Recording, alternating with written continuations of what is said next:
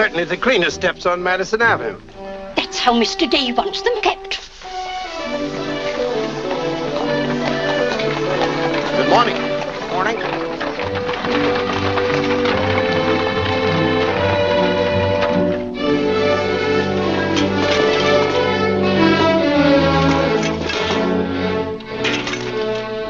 You're new here, aren't you? Just this morning. This is the way Mr. Day gets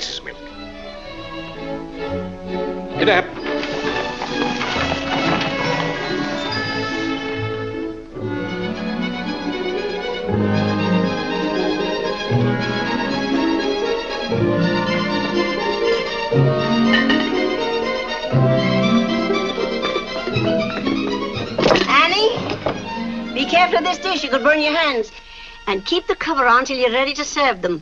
Mr. Day likes his muffins hot. I'll do that.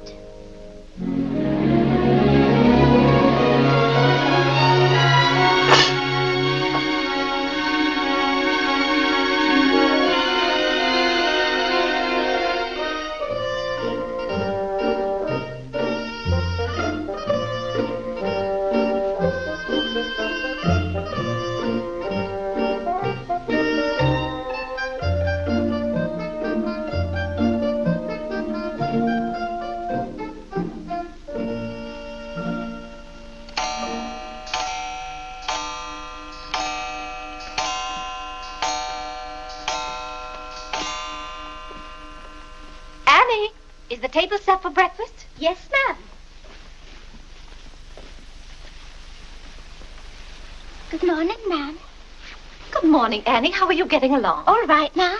I hope. Now, don't be nervous just because this is your first day. Everything's going to be all right. But I do hope nothing goes wrong. Oh, no, Annie. The cream and sugar go down at this end. Oh, I thought in the center, ma'am. Everyone could reach the here. Mr. Day sits here. Oh, excuse me. I didn't know where to place the napkins, ma'am. You can tell by the rings. The boys have their initials. C for Clarence. He sits here. J for John. Here. W for Whitney. He sits over there, next to his father. Yes, ma'am. And the one with the little dog on it is Harlan's, of course. He's the baby. This narrow plain one is mine. And this is Mr. Day's. It's just like mine, except that it got bent one morning. And that reminds me, Annie. Always have Mr. Day's coffee piping hot. Yes, ma'am. And whenever Mr. Day speaks to you, just say yes, sir. Don't be nervous. You'll get used to him. Yes, ma'am. Oh, that beautiful rubber plant. I'm so glad it came. You mustn't water it every day. Too much moisture makes it very unhappy. Oh, good morning, Mother. I thought you were still upstairs. Good morning, Clarence. Father must be talking to himself. A redhead. Did you sleep well, Mother? Yes, thank you, dear. Golly, I'm hungry. Oh, and Annie, we always start with fruit in the morning, except the two younger boys who have their porridge and milk. Jiminy, another wreck on the New Haven. That always disturbs the stock market. Father won't like that. I do wish the New Haven would stop having wrecks if they knew how it upsets your father. My soul and body, Clarence, what's happened to your coat? Oh, it ripped open again. Margaret mended it for me, but it won't stay mended. Oh, dear. Well, I'll just have to speak to your father about a new suit of clothes. Clarence, why did you take my H2SO4 out of our clothes closet? I've told you a hundred times that closet's not to make experiments in. Two. Good morning, Mother.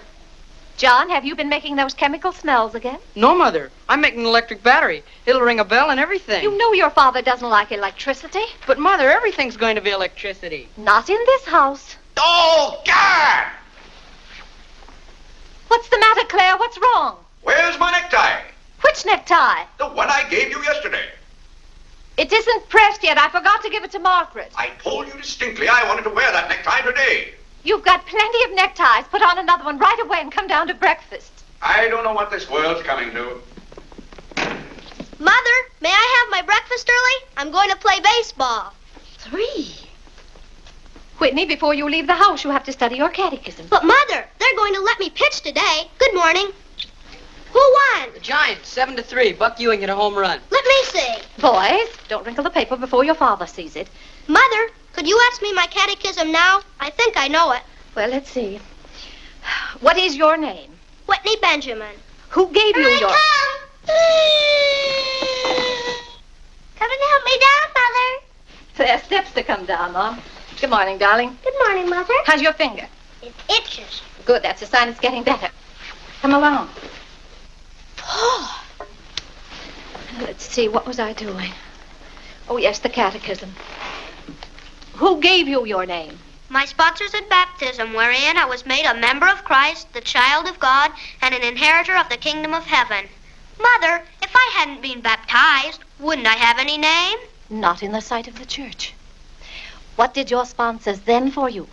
They did promise and vow three things in my name. First, that I should renounce the devil and all his works, the pomps and vanity of this wicked world, and all the sinful lust of the flesh. And secondly, secondly, that I believe all the articles of the Christian faith. And thirdly, that I should keep God's holy will and commandments, and walk in the same all the days of my Good morning, boys. Good morning. Good morning. morning, Father. Father. Father. Morning, Vinnie. Have a good night. Yes, thank you, Claire. Good. Sit down, boys. What's that thing doing in here? Claire, that's our new rubber plant. Place for rubber plants is on the equator. Uh, take that object out, Catherine. You're not Catherine? No, sir. Good. Never liked Catherine anyway. Thank you, Clarence. Put it somewhere else, Annie, but not too near a window. Sit down, Harlan. Thank you, dear.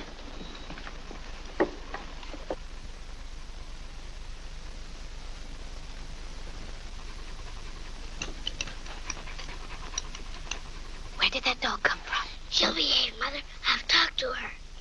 What did you say? Uh, Claire, that new suit looks very nice. You blasted type. You put on a little weight, dear. I weigh just the same as I always have. Well, Clarence has just managed to ruin the only decent suit he has. I'm sorry, but I'm afraid he'll need a new suit of clothes.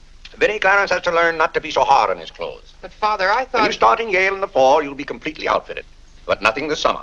Can't I have one of your old suits cut down for me? Every suit I own still has plenty of wear in it. I wear my clothes until they're worn out. Well, if you want your clothes worn out, Clarence can wear them out much faster than you can. Yes, and Father, you never get a chance to wear yours out. Every time you get a new batch of clothes, Mother sends the old ones to the missionary barrel. I guess I'm just as good as any old missionary.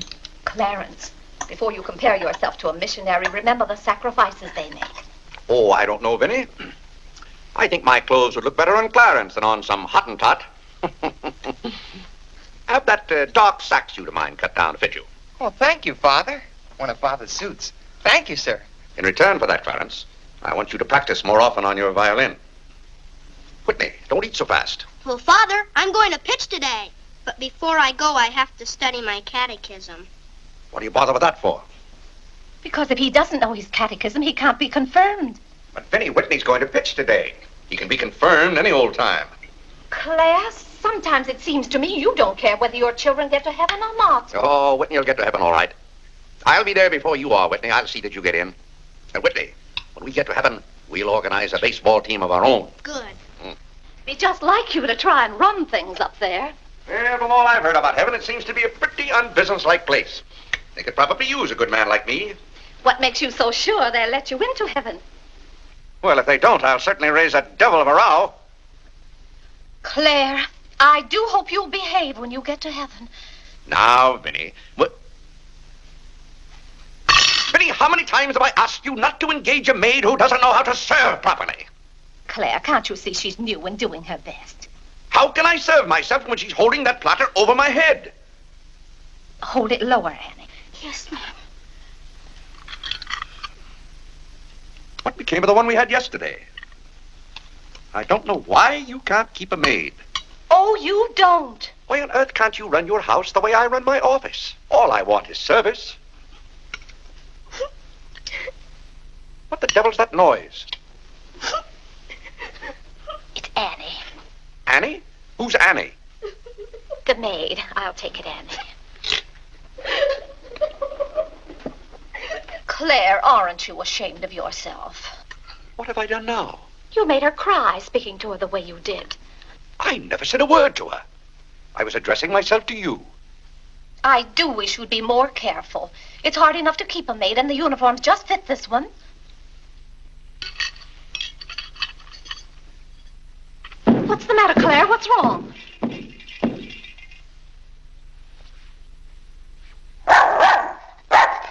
What in the name of... Well, Where did you come from? Who do you belong to? She's mine, Father. Her name is Princess. Hmm. Looks more like a prince to me. What's wanted? Margaret, this bacon's good. Oh, Well, it's good. yes, sir. Harlan, how's that finger? Come here, let me see it. Yes, Father. Ah, yes, that's healing nicely. I guess you'll know the next time that cats don't like to be hugged. It's all right to stroke them, but don't squeeze them. Now go back and finish your oatmeal. I don't like oatmeal, Go on and finish it. It's good for you. but I don't like it. I'll tell you what you like and what you don't like. You're not old enough to know about such things. You've no business not to like oatmeal. It's good. I hate it. That's enough. We won't discuss it. Eat that oatmeal at once.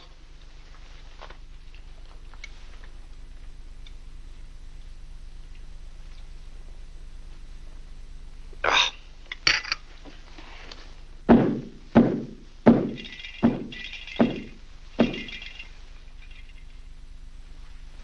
John, that letter's for your mother. I finished my oatmeal, Father. May I be excused? Yes, Whitney, you may go. It's a good game. I will. Whitney? Yes, Mother. My catechism. Never mind this morning, darling. Run along. Thank you, Mother. What's wanted? Margaret, what is this? Coffee, sir. It is not coffee. You couldn't possibly take water and coffee beans and arrive at that. It's slops, that's what it is. Slops. Take it away. I come down to this table every morning hungry. Well, if you're hungry, Claire, why aren't you eating your breakfast? I am. Aunt Judith wants me to come up and visit her. Now, Vinnie, I want no more relatives in this house.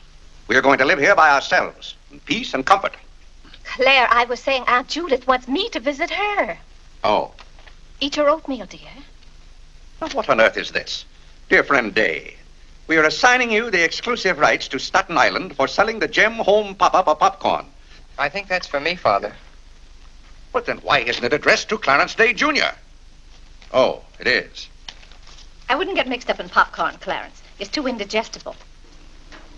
Confound it, another wreck on the New Haven. If you please, ma'am, there's a dollar due on a package. It's from Lewis and Conger's. Oh, yes, those kitchen knives I ordered. Uh, make a memorandum of that, Vinnie. One dollar, and whatever it was for. Of course, Claire. I must have a record of what is spent running this house. I've never understood what good a record is after the money's gone. There's just a dollar, Margaret. Vinnie, this house must be run on a business basis. Of course, dear. That's what the household accounts are for. Oh, Claire, it's half past eight. You don't want to be late at the office. Plenty of time. Annie, clear the table now. Ma'am, I'll do that. Clarence, John, Yes, Mother? you boys go up and move the small bureau from my room into yours. Who's coming? Cousin Cora, and she's bringing a friend with her, a young girl. A girl. You'll have to help entertain her, Clarence. Oh, Mother, do I have to? Wait till Father finds out we've got visitors. There'll be a rumpus. John, don't criticize your father. He's very hospitable. After he gets used to the idea. I like coffee. I like tea. I like the girls, and the girls like me. Well, I don't like girls, and they don't like me. Oh, God! Go on, boys, go on. What's the matter, Claire? What's wrong? How did that get in this room? Now, Claire, how was the new maid to know? Well, keep that abomination out of here. All right, I'll take it. Oh, Claire, dear, I'm afraid I'm going to need some more money. You were complaining about the coffee this morning. Well, that nice French drip coffee pot is broken, and you know how it got broken. Yeah, never mind that, Vinnie. As I remember, that coffee pot cost five dollars and uh, something. I'll give you six dollars. Uh, when you get it, Vinnie, enter the exact amount in the ledger. Of course, Claire. We can't go on month after month having the household accounts in such a mess. No. And I've thought of a system that will make my bookkeeping perfect. Well, I'm certainly relieved to hear that. All we have to do is open charge accounts everywhere, and the stores will do my bookkeeping for me. Now, wait a minute, Vinnie. Then, when the bills come in, you'd know exactly where your money had gone. Yes, I certainly would. Vinnie, we get enough bills as it is. Claire, dear, don't you hate those arguments we have every month? I certainly do. Not to have those, I should think, would be worth something to you. Well, I'll open an account at Lewis and Conger's and uh, one at McCreery's to start with. Thank you, Claire. We'll see how it works out. Thank you. Oh, The rector's coming to tea today. The rector? Well, I'm glad you warned me. I'll go to the club. Don't expect me home until dinner time. Claire, dear, I do wish you'd take a little more interest in the church. Getting me into heaven is your business, Vinnie. If there's anything wrong with my ticket when I get there, you can fix it up. Everybody loves you so much, I'm sure God must too. I'll do my best, Claire. It wouldn't be heaven without you. If you're there, Vinnie, I'll manage to get in some way, even if I have to climb the fence. Sweet Marie, come to me, come to me, sweet Marie. Mm. Margaret, Margaret. Oh, Gad! What's the matter, Claire? What's wrong? Why did God make so many dumb fools and Democrats? Oh, politics. Yes, but it's taking the bread out of our mouths. Huh. Honest Hugh Grant. Honest. Bah. Fine mayor you've turned out to be. If you can't run this city without raising taxes every five minutes, you'd better get out. Let someone who can. Richard Croker's running this town. And you're just his cat's paw. Tell me this. Are these increased taxes going into public improvements? Or are they going into graft? Answer me that honestly if you can, Mr. Honest Hugh Grant. You can't. I thought so. Bah!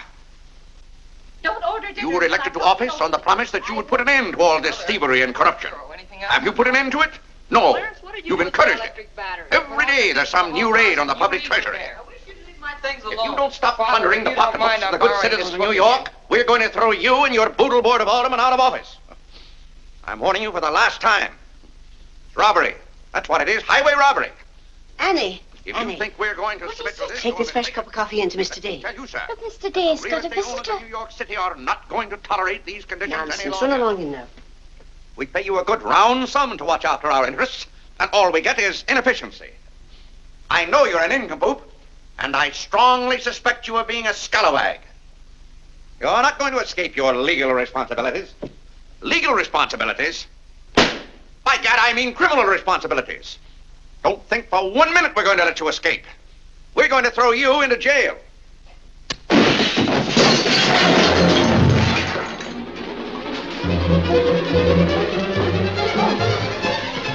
Are you hurt? He can't throw me into jail. Vinnie? Vinnie, why can't I have quiet here in the morning? Claire, what happened? It sounded to me as though that maid dropped a whole tray of dishes. Yes, but what did you say to her? Say to her, I haven't seen her since breakfast. I better get to the office. Oh, yes, Claire, you don't want to be late. I'll be home in plenty of time for dinner. Why don't we have chicken fricassee tonight? Well, Claire, chicken's gone up. It's eight cents a pound.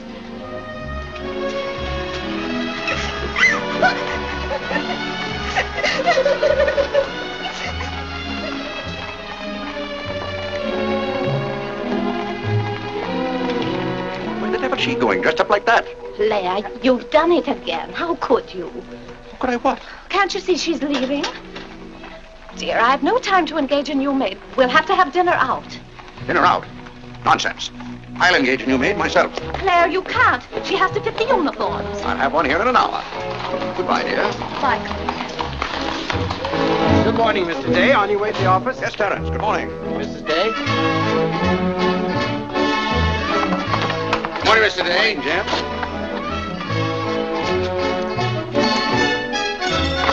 Get in.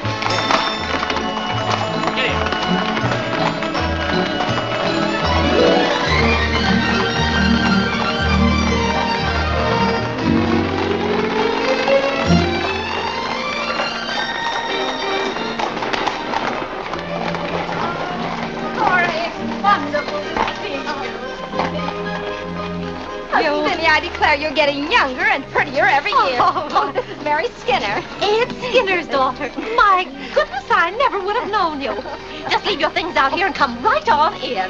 I heard my father talk so much about you, Mrs. Day. Did he tell you how he used to dip my pigtails in the inkwell at school? What's the news in Pleasantville, Cora? Oh, Vinnie, I have so much to tell you. We wrote you that Aunt Carrie broke her hip. Yes. That was the night that Robert Ingersoll lectured. Of course, she couldn't get there, but it was a good thing for Mr. Ingersoll she didn't. How do you do, Cousin Cora? Oh, Clarence. my, my. Oh, no, Cora, this is John. Uh, John, why, how you've grown. You'll be a man before your mother. John, this is Mary Skinner. How do you do? How do you do? Vinnie, everybody in Pleasantville sends their love. Aw. Grandpa Ebbets, Cousin Edith, Aunt Hattie, the Taylors. Oh, just everybody. Cora, how did. is Grandpa Evans? Oh, he hasn't been at all well. You know he only has one kidney, and that's floating. How do you do, Cousin Cora? I'm glad to see you. This can't be Clarence. Yes, it is. My, my. My goodness, every time I see you boys, you've grown another foot. Uh, Let's see, you're going to St. Paul's now, aren't you? St. Paul's? I was through with St. Paul's long ago. I'm starting in Yale this fall. Yale? Uh, oh, uh, oh, Mary, this is Clarence, uh, Mary Skinner. How do you do? Oh, uh, this is Mary's first trip to New York. Y- yes, it is. It's her first trip. That's her- We'll have to show Mary around.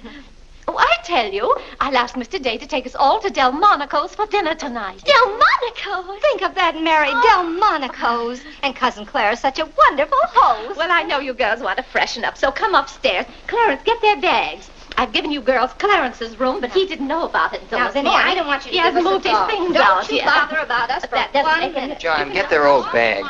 We just take care of ourselves. You know, everyone is pleasant. Oh, you play the violin.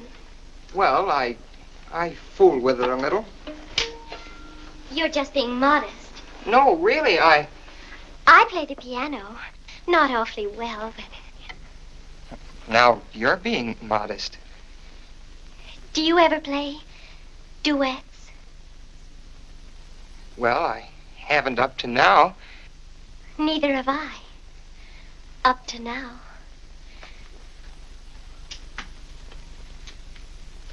Cora didn't tell me about you. I never met a Yale man before.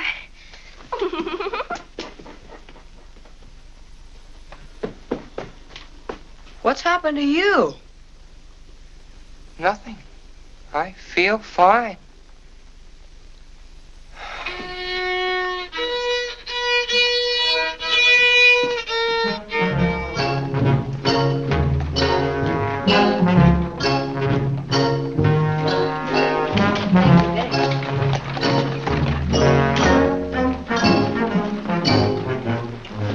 Where do you keep them? Do you wish a domestic servant? Where do you keep them? I will take your name and address. Confound it, I'm late at the office now. If you will give me the details as to what kind of person you require. I'm asking you where you keep them. Why, the girls are in there, but clients are not allowed in that room. If you will tell me the kind of a position you wish to have filled, I will be very glad to.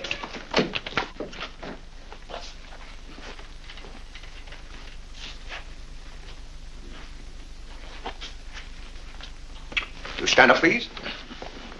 Sir, this is quite against the rules. I must know what you want the girl for. I'll take that one. What's your name? Hilda, sir. Hilda, you go right over to 420 Madison Avenue. I will, sir. That's all, thank you. Sir, before I can let any girl go from this establishment, I must know the character of the home in which she will be employed. Madam, I am the character of my home. Oh.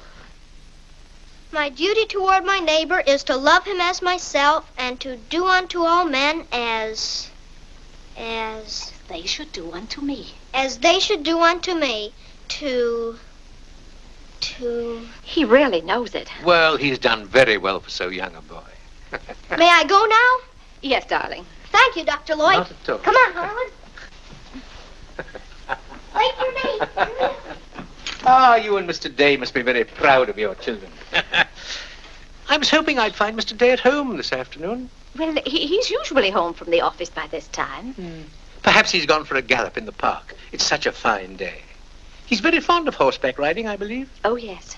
Tell me, has he ever been thrown from a horse? Oh, no, no horse would throw Mr. Day.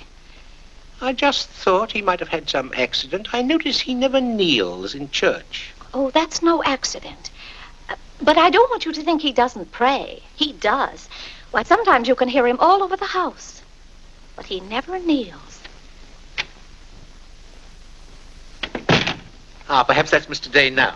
I hardly think so. Oh, the devil, I forgot. Claire, you're just in time for tea. I'll send for some hot water. How are you, Dr. Lloyd? It's a great pleasure to have a visit with you, Mr. Day. Mother, are they back yet? No, Clarence, no. Except for a brief glimpse on the Sabbath, I don't see much of you. well, Claire, did you have a busy day at the office? Uh, devilishly busy. Claire, Uh, a very busy day. Tired out. How a man can get tired just sitting at a desk all day, I don't know. I suppose Wall Street is just as much a mystery to you as it is to me, Dr. Lloyd. No, no, it's all very clear to me. My mind often goes to the businessman. The picture I'm most fond of is when I envision him at the close of the day's work. I see him pausing in his toil, and it comes over him that all those figures of profit and loss are without importance or consequence. Vanity and dust. Well, I'll be. Claire? Yes, ma'am. Delia, some more hot water, please. Yes, ma'am. Who's that? The new maid. Where's the one I sent this morning? The uniform didn't fit. Hmm. I like the one I picked out better. Uh, Claire, Dr. Lloyd wants to tell us about the plans for the new edifice. The new what? The new church. You knew we were planning to build a new church. Of course, we're going to have to raise a large sum of money. Well, personally, I'm against the church hop, skipping, and jumping all over the town. So any contribution I make will have to be a small one. The amount everyone is to subscribe has already been decided. Who decided it? After considerable thought, we voted that our supporting members should each contribute a sum equal to the cost of their pew. I paid $5,000 for my pew. Yes, Claire, that makes our contribution $5,000. That's robbery. Do you know what that pew was worth today? $3,000. That's what the last one sold for. I've taken a dead loss of $2,000 on that pew already. Huh. Frank Baggs sold me that pew when the market was at its peak. He knew when to get out. And I'm warning you, Vinnie, if the market ever goes up, I'm going to unload that pew. Clarence Day, how can you speak of the temple of the Lord as though it was something to be bought and sold on Wall Street? Now, Mrs. Day, your husband is a practical man. We've had to be practical about the new church. We have all the facts and figures. Oh? What's the property worth where we are now? Oh, let's see. Is it $40,000? I know the figure has a four in it. What's the new piece of property going to cost you? I think the figure I heard mentioned was $85,000. Or was it uh, 185,000? Uh, Dr. Lloyd, you preach that someday we'll all have to answer to God. We shall indeed. Well, I hope God doesn't ask you any questions with figures in them. Mrs. Day is in the living room. Thank you. It's Cousin Cora. Hmm? She's passing through town. Oh. Well. Oh, hello. Hello. Hello. Thank you for helping me. Come, Mary. Oh, Vinnie, what a day. We've been in every shop in town. Why, Cousin Claire. Cora! My, my. You're as welcome as the flowers in May. This is Mary Skinner, Mr. Day. How do you do? I've been telling Mary all about you. She's been dying to meet you. Well, Dr. Lloyd, I want you to meet my favorite cousin, Miss Cartwright. How do you How do you do? do? And this is Mary Skinner. Miss Skinner, Dr. Lloyd. How do you do? How do you do? this seems to be a family reunion. I'll just run along. uh, goodbye, Dr. Lloyd. Uh, uh, goodbye, Miss Oh, goodbye. Uh, goodbye. Oh, uh, Clarence, you haven't said how do you do to Dr. Lloyd. Goodbye, Dr. Lloyd. uh, goodbye, everybody. I'll go to the door with you, Dr. Thank you, Lloyd. and thank you so much for the tea. I did- Those muffins were delicious. And the... Who did you say this pretty little girl is? She said Skinner's daughter. This is Mary's first trip to New York. Oh, uh, sit down, sit down. Have some tea. We had tea downtown. Oh, uh, never mind then. Uh, Delia. uh, Delia, uh, sit down, sit down. Even if you have had tea, you can stay and visit for a while. As a matter of fact, why don't you both stay to dinner? That's all arranged, Claire. Cora and Mary are going to have dinner with us. Fine, fine. Of course, you'll just have to take potluck. Well, I'd hardly call it pot. Claire, uh, did you know the girls are going to visit Aunt Judith in Springfield for a whole month? Fine. Now, how long are you going to be in New York, Cora? All week. Splendid. We'd hope to see something of you. well, you certainly will. I... Cora, uh, d- d- did you find anything you wanted in the shop? Oh, I can't wait to show you. Oh, but I'm afraid some of these packages can't be opened in front of Cousin Claire. Shall I leave the room? oh,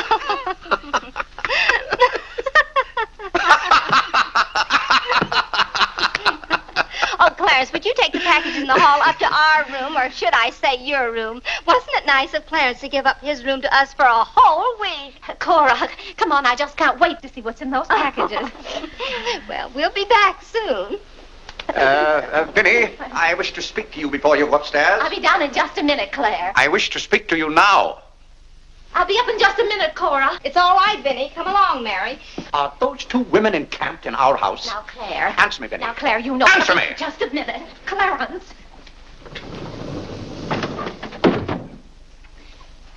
Now, Claire, you know you've always been fond of Cora. What has that to do with her planking herself down in my house and bringing hordes of strangers with her? How can you call that sweet little girl a horde of strangers? Why don't they go to a hotel? New York is full of hotels built for the express purpose of housing such nuisances. Claire, two girls alone in a hotel? Why, who knows what might happen to them? All right, then put them on the first train. They want to roam with the gypsies? Lend them a hand. Keep them roaming. But, Claire, they're just staying in that little room of Clarence's. The trouble is they don't stay there. They stay in the bathroom. Every time I want to take my bath, it's full of giggling females, washing their hair. I tell you, I won't have it. Send them to a hotel. I'll pay the bill gladly, but get them out of here. Father, I'm afraid they can hear you upstairs. Then keep those doors closed. Clarence, you open those doors. Open them all the way. Now, Claire, you be quiet and behave yourself. They're here, and they're going to stay here. That's enough, Vinnie. I want no more of this argument.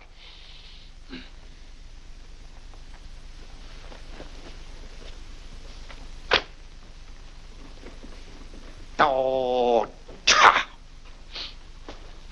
What I don't understand is why this swarm of locusts always descends on us without any warning. Oh, thunders.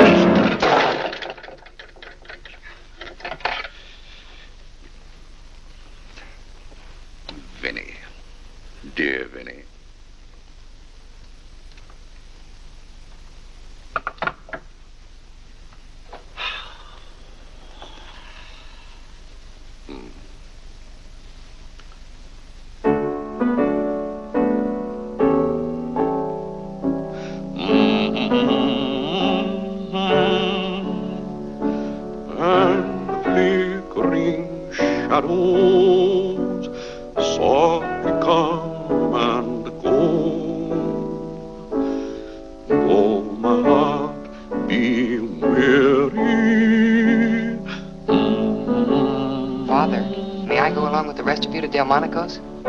Delmonico's? You're taking Mother, Cousin Cora, and Miss Skinner to Delmonico's for dinner tonight. Oh, Gad! I won't have it. I won't have it. I will not have my life arranged for me. I bought this house for my own comfort. I will not submit myself to this indignity. Now, Claire, what's the matter? I won't stand it. By heaven, I won't stand it. Clarence. Do I understand that I am not permitted to have dinner in my own home? Claire, a little change will do you good. I have a home to have dinner in, and any time I can't have dinner at home, this house is for sale. Well, Claire, you can't have dinner here tonight because it isn't ordered. And besides, Cora and Mary want to see something of New York. Well, that's no affair of mine. I am not a guide to Chinatown and the Bowery. Oh, Mr. Day, I just love your house. I could live here forever.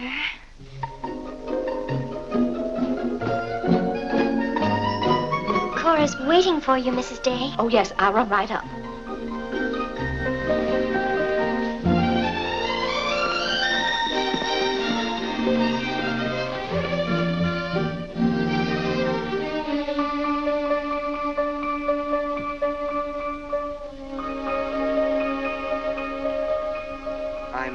Glad you like our house, Miss Skinner. I like it very much, Mr. Day. Praise from a stranger is approbation indeed. At home, our living room is green. I like green. I like green, too. Red's my favorite color. It's an interesting thing about colors. Red's a nice color in a house, too, but outside, too much red would be bad. I mean, for instance, if all the trees and the grass were red. Outside, green's the best color. That's right. I never thought of it that way. But when you do think of it, it's quite a thought. I bet you make your mark at Yale. Oh, My mother wants me to go to college. Do you believe in girls going to college? I guess it's all right if they want to waste that much time. Before they get married, I mean. I'm glad you're fond of music, Mr. Day. Oh, hello. Look, a new youth companion. John enjoys the youth's companion. John. Won't you sit down? Oh, thank you. It tells all about connecting batteries in series. John, Miss Skinner and I were talking. Oh, that's all right. You won't bother me. Jiminy, there's where I made my mistake. I didn't mix enough blue vitriol with it.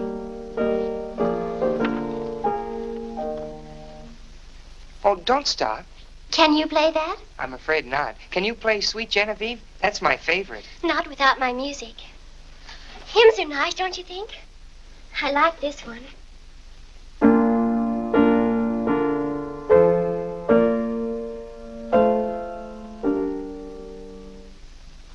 That's funny. The words are the same, but it's the wrong tune. Oh, it can't be the wrong tune. We sing it exactly that way in church. We don't sing it that way in the Methodist church. You see, we're Methodists. Oh, that's too bad. Oh, I don't mean it's too bad that you're a Methodist. Anybody's got a right to be anything they want, but what I mean is, we're Episcopalians. Yes. I know. Anyway, the words are the same. Shall we begin?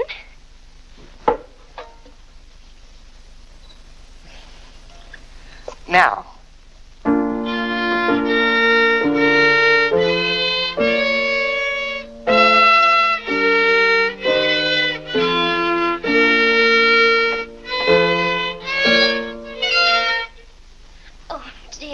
well, what's wrong? Shall we try again?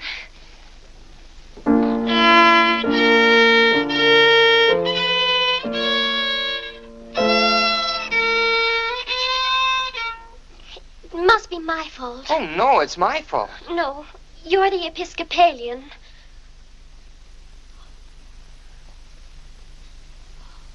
I just remembered something. My father was an Episcopalian. He was baptized an Episcopalian. He was an Episcopalian right up to the time he married my mother. She was the Methodist. Oh. Oh, well, let's try it again then.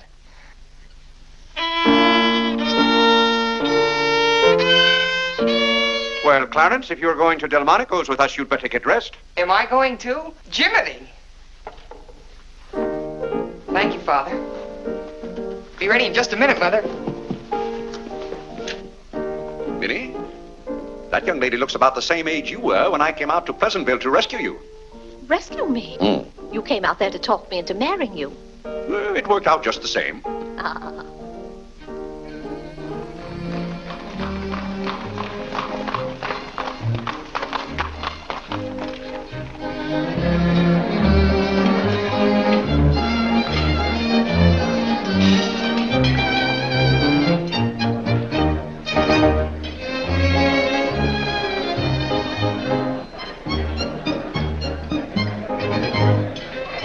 L'addition, François. Oui, monsieur, tout de suite. Louis, l'addition pour monsieur Day. Oui, monsieur. Alors, vite, vite. Tout de suite. Alors, vite, vite, tout de suite. Cette sauce diable était délicieuse. Merci, monsieur. Je suis content que monsieur soit satisfait. Merci, monsieur. Bon. French. Oui. No cooking like the French. Claire, it was so nice of you to invite Cora and Mary here their first night. Uh, it's been a pleasure. Mr. Day, have you always been an Episcopalian? I've always gone to the Episcopal Church, yes. But you weren't baptized a Methodist or anything, were you? You were baptized an Episcopalian? Come to think of it, I don't believe I was ever baptized at all. Claire, that's not very funny, joking about a subject like that. I'm not joking. I remember now, I never was baptized. Claire, that's ridiculous. Everybody's baptized. What? I'm not. No one would keep a little baby from being baptized. Uh, you know father or mother, free thinkers, both of them. They felt their children should decide those things for themselves.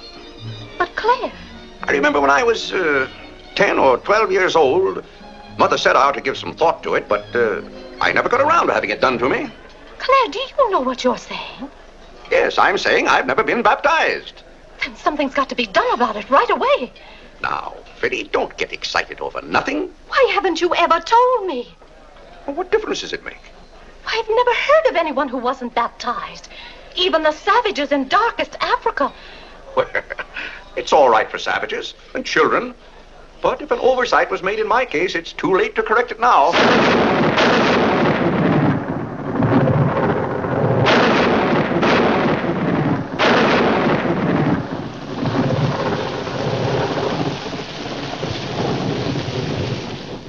What if you're not baptized? You're not a Christian.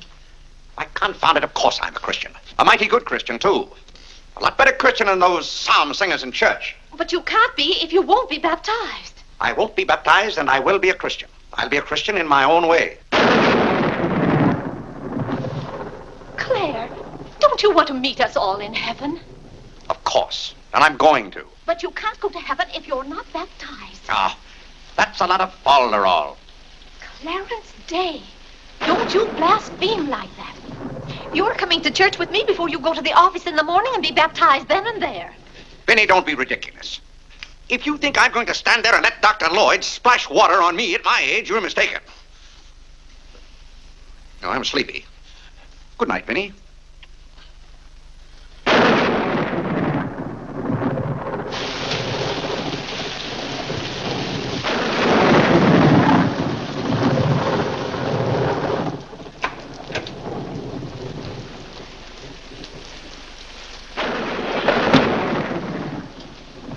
Mother, what is Father? Get back to sleep. Mother, Yes, Whitney. if Father hasn't been baptized, he hasn't any name. In the sight of the church, he hasn't any name. That's right. Maybe we're not even married.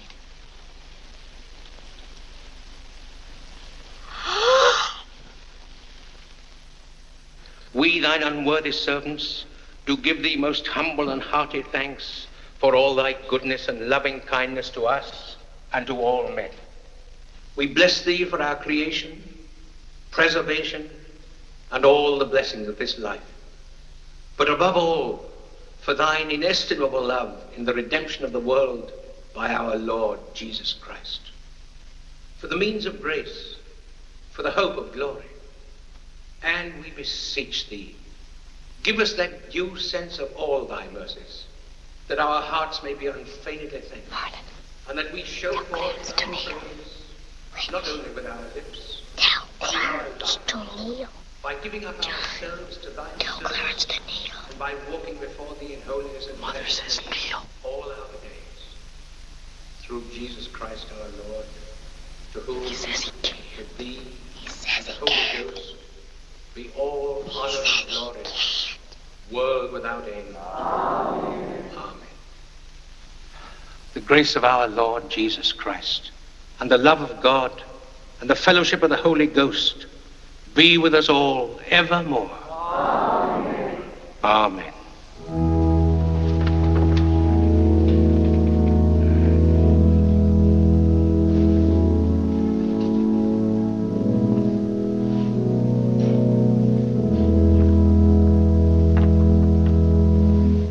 And so, my friends, what comfort and security it gives us when we have reached the age of understanding to know that the rite of baptism has not been neglected in our infancy or youth. Can you imagine any man who has reached maturity with the knowledge that he had never been baptized, failing to hasten to the holy font that his soul might be saved? As it says in the baptismal office, except a man be born of water and of the Spirit, he cannot enter into the kingdom of God. He that believeth and is baptized shall be saved, but he that believeth not shall be damned. What's that follow up to? He can't be. Which also showeth us the great benefit we reap thereby. He that is baptized showeth great benefit. Tell Father. But he that believeth not, Father, cannot enter into the kingdom of God. Says, For the promise is to you and to your children. Doubt ye not, therefore, but earnestly believe.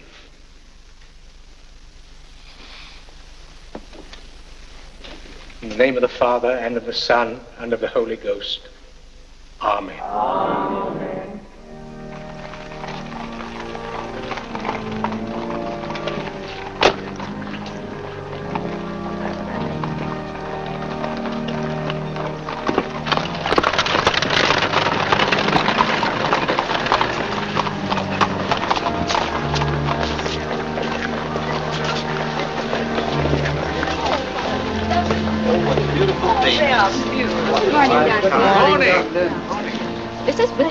Tyler Wickersham.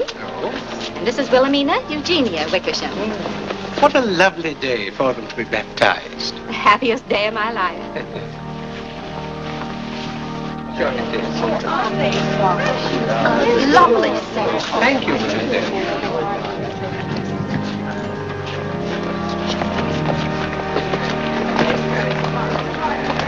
Claire, you know I didn't ask Dr. Lloyd to do that. You must have said something. Well, I had to find out from him if we were really married. I am married and I'm not baptized. And as far as I'm concerned, the whole congregation can know it. They certainly know it now. That suits me. I don't go to church to be preached at as though I were some lost sheep. Claire, you don't seem to understand what the church is for. Vinnie, if there's one place the church should leave alone, it's a man's soul.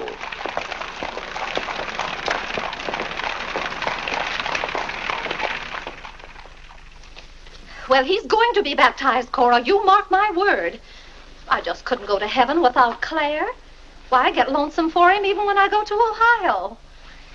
It's awfully hard on a woman to love a man like Claire so much.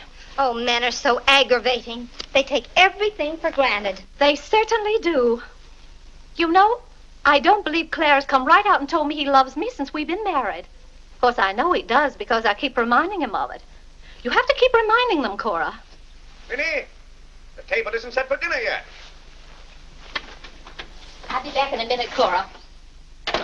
We're having it after Cora and Mary go to the train. Their cab's coming at one o'clock. Cab? The horse cars go right past the door. But, Claire, they have those heavy bags. Cabs are a waste of money. Well, if dinner's going to be delayed, I'll work on this month's bills. Where are they? Now, Claire, it isn't fair to go over the household accounts when you're hungry. Vinnie, where are those bills? They're in the library on your desk. I didn't know dinner was going to be late. No one ever tells me anything in this house. Back home, I ride all the time. I love horses. The horse is my favorite animal. Well, goodness, where have you two been? Clarence wanted to show me his grandfather's house. You'll have to hurry and finish your packing. It won't take me long. Can I help you pack? Clarence! Clarence? Why didn't you kneel in church today? I. I just couldn't. If it's because your father doesn't kneel, you must remember he wasn't brought up to kneel in church. But you were. Has it anything to do with Mary? I know she's a Methodist. Oh, no, Mother. Methodists kneel. Mary told me. They don't get up and down so much, but they stay down longer. Clarence, you want to kneel, don't you? Oh, yes, I wanted to kneel today. I, I tried. You saw me try, but I just couldn't. Is that suit of your father's too tight for you? No, it's not too tight. Well, what is it? Mother, very peculiar things have happened to me since I started to wear this suit. I can't seem to make these clothes do anything Father wouldn't do. Oh, that's nonsense, Clarence. And not to kneel in church is a sacrilege. Making Father's trousers kneel seemed more of a sacrilege. Clarence! Do you know what happened at Dora Wakefield's party for Mary last night? We were playing musical chairs, and some girl sat down suddenly right on my lap. Well, I jumped up so fast she almost got hurt. She was sitting on Father's trousers. Well, Mother, I've got to have a suit of my own. My soul and body. Well, you'll just have to talk to your father about it. I'm sure if you approach him the right way, you know, tactfully, he'll see. Oh, excuse me. Gracious. It didn't take you very long. Well, I'll see about your box lunch for the train. Remember, it's Sunday.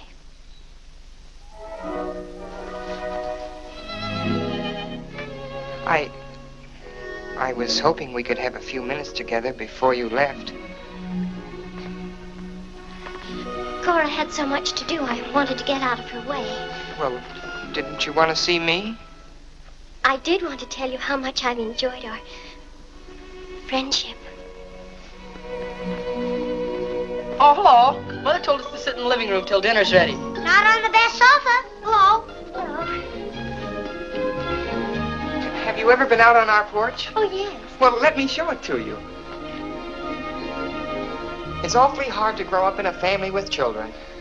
My, I've never known a week to pass so quickly. Why, I. Yes? Why, I. Yes? You're going to write me when you get to Springfield, aren't you? Of course. If you write me first. But you'll have something to write about your trip and Aunt Judith and how things are in Springfield. You write me as soon as you get there. Maybe I'll be too busy. Maybe I won't have time. Well, you find the time. Let's not have any nonsense about that. You'll write me first and you'll do it right away the first day. How do you know I'll take orders from you? Well, I'll show you. Give me your hand. Why should I? Give me your hand, confound it. What do you want with my hand? I just wanted it. What are you thinking about? I was just thinking. About what? I was hoping you'd write me first, because that would mean you liked me.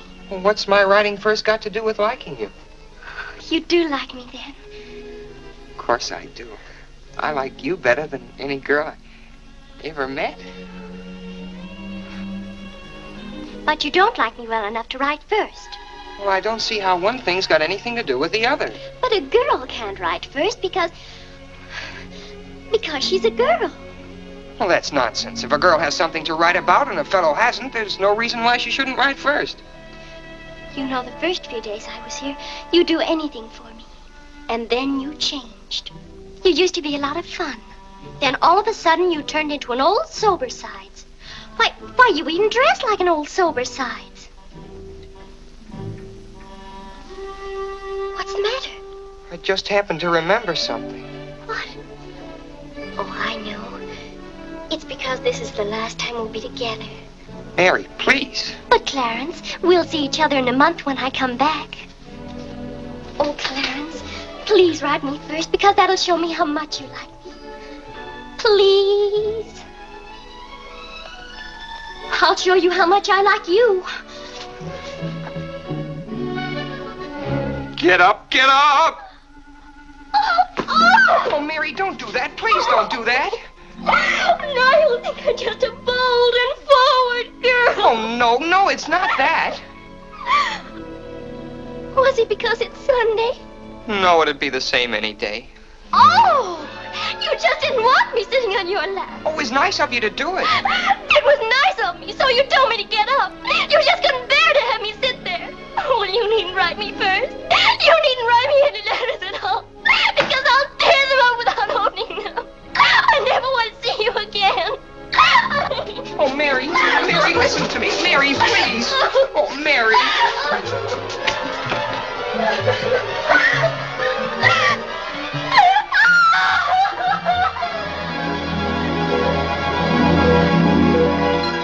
Clarence!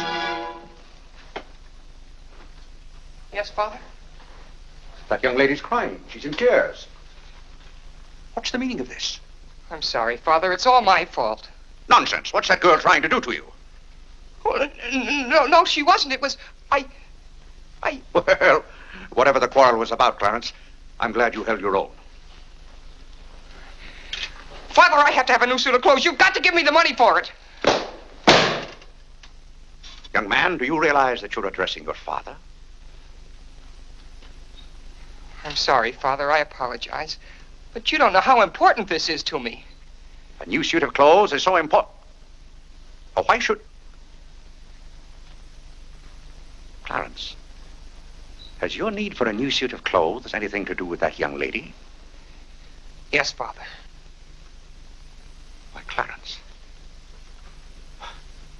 Why, this comes as quite a shock to me. What does, Father? For your being so grown up. Still, I might have known if you were going to college this fall. Yes, you're at the age when you'll be meeting girls. Clarence, there are things about women that I think you ought to know. Sit down.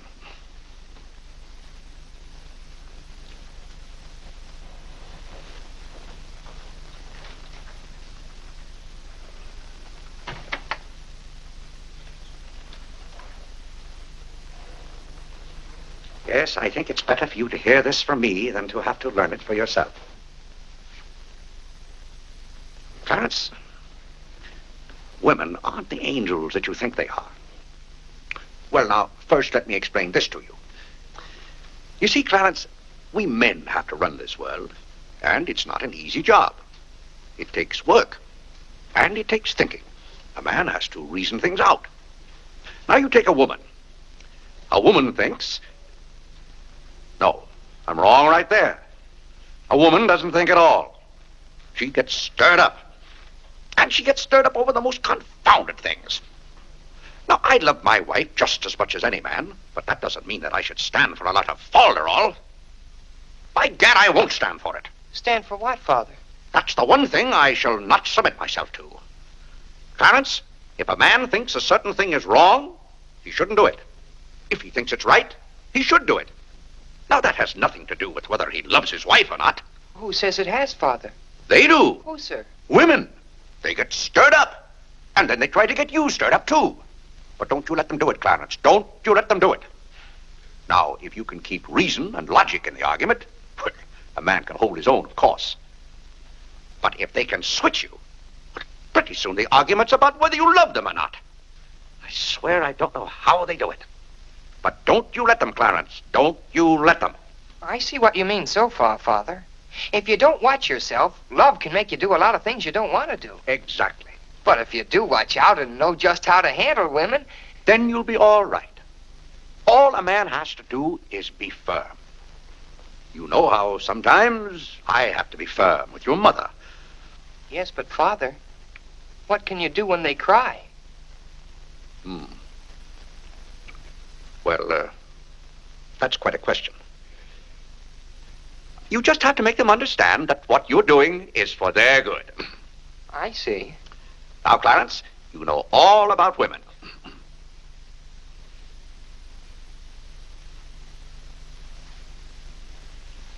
But, Father.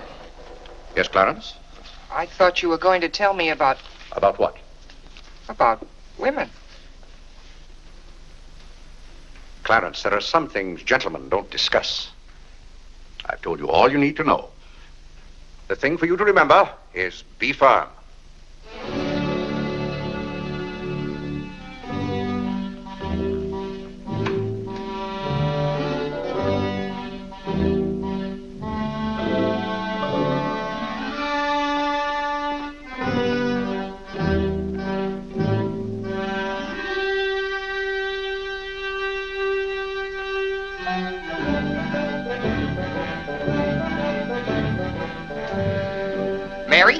When you get to Springfield, the very first thing you.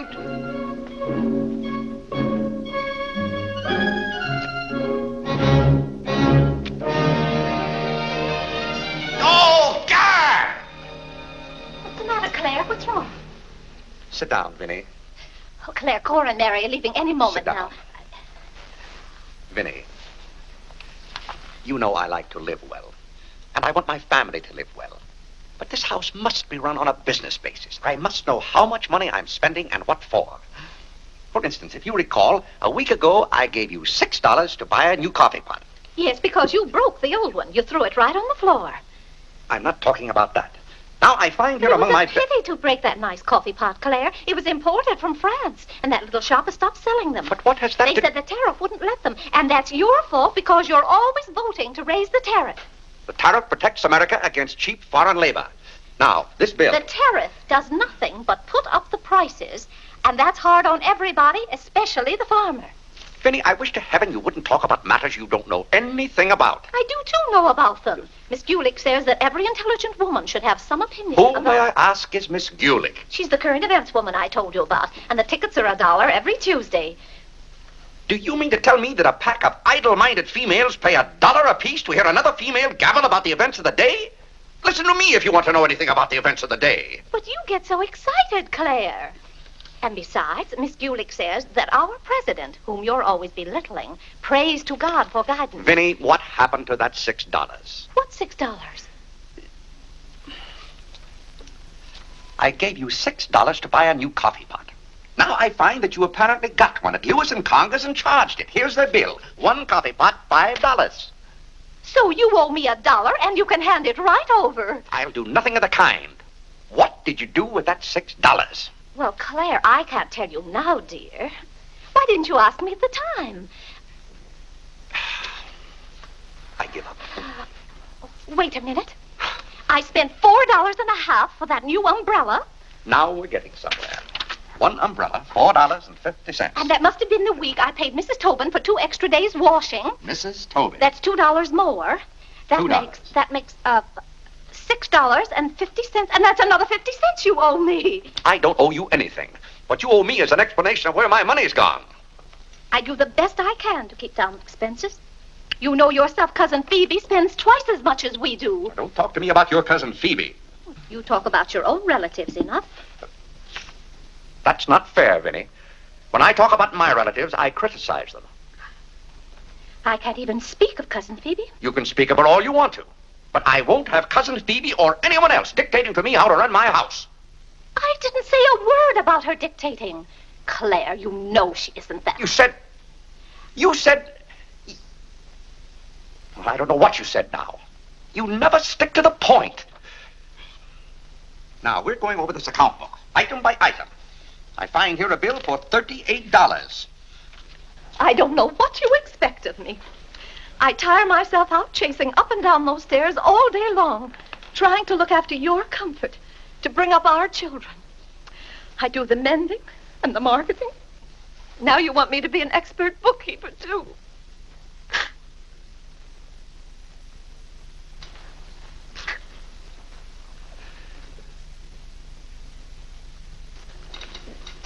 Vinnie, I want to be reasonable, but can't you understand? I'm doing all this for your own good. Oh. Well, I suppose I'll have to go ahead just paying the bills and hoping I've got enough money in the bank to meet them. But it's all very discouraging. I'll try to do better, Claire. Well, that's all I'm asking. Well, I'll uh, make out the checks and sign them. But uh, maybe I haven't any right to sign those checks since, in the sight of the Lord, I haven't any name. That's right. Claire, to make those checks good, you'll have to be baptized right away. Vinnie, the bank doesn't care whether I've been baptized or not. Well, I care. And no matter what Dr. Lloyd said, I'm not sure we're really married. Vinnie, we have four children. If we're not married now, we never will be. Claire, Dr. Lloyd said this morning. That's all, Vinnie. Uh, hadn't you better go tell Whitney to watch for the cab? Not before you give me that dollar and a half. What dollar and a half? The dollar and a half you owe me. I don't owe you any dollar and a half. I gave you money to buy a coffee pot for me, and somehow it turned into an umbrella for you. Why, Clarence Day, what kind of man are you? Quibbling about a dollar and a half when your immortal soul is in danger. And what's more, All if right. you... All right, all right. Uh, Thank you, Claire. Now the accounts are all straight again.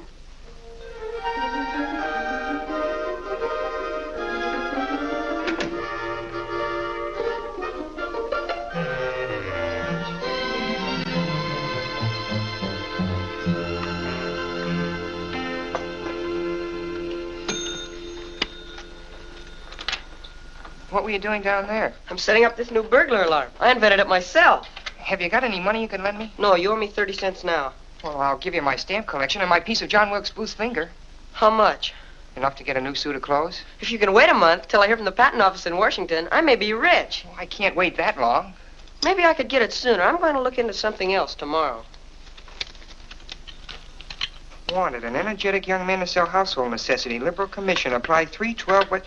John, let me have this job. Why should I give you my job? They're hard to get. But I've got to get a new suit of clothes. Maybe I could get the job for both of us. I'll ask the man.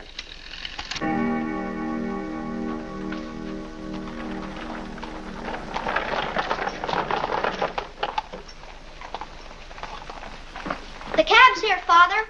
oh, uh, th- thank you, Whitney. Uh, Vinnie, Cora, the cab's here. Uh, uh, John, uh, uh, go up and get their bags. Yes, sir. Here's the lunch for the train, sir. Uh, take it out to the cab. Uh, Who's that one? It's Ellen. Delia left yesterday. I don't know where your mother finds them. Now, Vinnie, don't you let Claire worry about us. We have plenty of time. Ah, take the bags right on out, John. Yes, sir. Well, goodbye, Clarence. It was so nice to see you Goodbye, again. Cousin Cora. Goodbye, Whitney. Now, you be a good boy. Goodbye, Cousin Cora. Goodbye, Harlan. Goodbye. Keep out of mischief. Come along, everybody. Don't keep the cab waiting. Cabs cost money. If there's one thing Mr. Day can't stand, it's to keep a cab waiting. There's any waiting to do. There's a waiting room at the Grand Central Depot just for that. Mary, aren't you even going to shake hands with me? I don't think I'd better. You may remember that when I get too close to you, you feel contaminated. Mary, you're going to write to me, aren't you? Are you going to write first? No, Mary. There are times when a man must be firm. Mary, Mother says you better hurry out before Father starts yelling. It's Sunday. Goodbye, John. I'm very happy to have made your acquaintance. Thank you. May I help you? No, thank you. Take care of yourself. Goodbye, Mr. Day. Goodbye, Mary. Goodbye, Mrs. Day. I've had a wonderful Goodbye, time. Mary. Bye-bye. Goodbye. Goodbye, Cousin Claire. Uh, goodbye, Cora. Goodbye, Cora.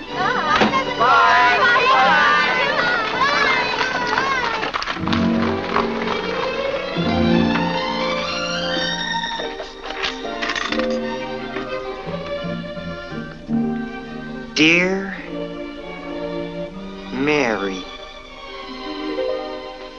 My duty toward my neighbor is to love him as myself and to do to all men as I would they should do unto me.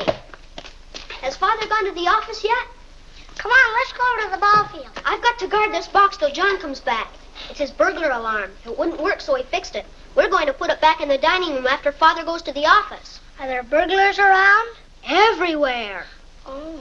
To love, honor, and succor my father and my mother. Why do you have to learn that? Because if I don't, I'll go to hell. Father's going to hell. He is not. Yes, he is, because he isn't baptized. He'll go to hell and burn for a thousand years. He won't. He won't. He'll be in a lake of fire and hmm. brimstone, and a thousand devils with pitchforks will be poking at him. No, Mother, don't let me. Father will hear you. No, I don't. Oh, come on,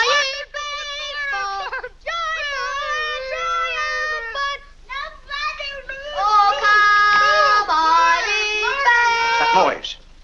Just singing, Father. You boys be quiet. You know your mother isn't feeling well. Yes, Father.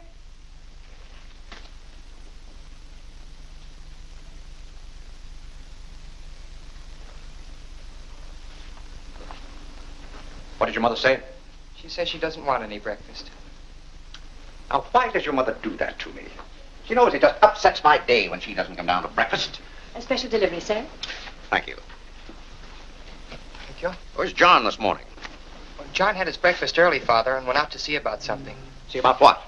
Well, John and I thought we'd work this summer and earn some money. Good. Work never hurt anyone. It's good for them. But if you're going to work, work hard. King Solomon had the right idea about work. Whatever thy hand findeth to do, Solomon said, do thy doggonedest. Hmm. Well, I don't understand this at all. Here's a letter from some woman I never even heard of. Oh, Father. Oh, Gad! What is it, Father? This woman claims that she sat on my lap and that I didn't like it. Huh. What's that word? No, that one down there. It looks like curiosity. Oh. I only opened your letter as a matter of curiosity. Yes, go on. Why, this gets worse and worse. It just turns into a lot of sentimental, lovey-dovey mush. Tcha! If this is someone's idea of a practical joke. What's the matter, Claire? What's wrong? Nothing wrong. Just a fool letter. How are you feeling, Vinnie? I thought you needed me. If you don't, I'll go back to bed. Oh, no, no, no, no, no. Uh, come sit down and uh, get some food in you. Do you good. Build up your strength. Uh, yeah, here, sit down, sit down. Here, uh, what's this one's name? Nora. Nora, uh, get Mrs. Day some bacon and eggs. No, Nora. No, bring me a cup of tea up to my room. Yes, ma'am. Oh, Vinnie, it's just weak to give in to an ailment. I notice when you have a headache, you yell and groan and swear enough. Well, that's to prove to the headache that I'm stronger than it is. I think I've caught some kind of germ. Some of my friends have had to send for the doctor. The doctor? Oh, poppycock. But Claire, dear, when people are ill, you have to do something. Certainly I have to do something. Cheer 'em up. That's the way to cure 'em. How would you go about cheering them up? I? Why, I'd tell 'em, bah.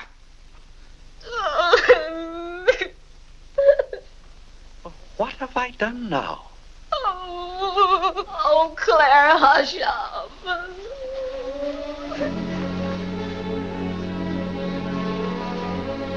Hey, I didn't mean to upset you.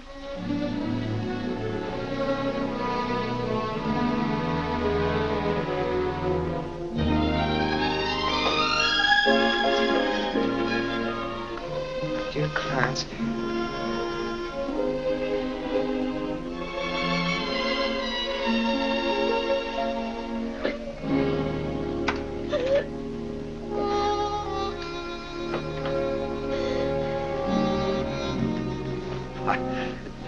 I, I was just trying to help you. You know, when, when you take your bed, I have a confounded lonely time around here. So when I see you getting it into your head that you're not feeling well, I want to do something about it. But just because some of your friends have given into this, no reason why you should imagine you're ill. Claire, stop. Get out of this house and go to your office.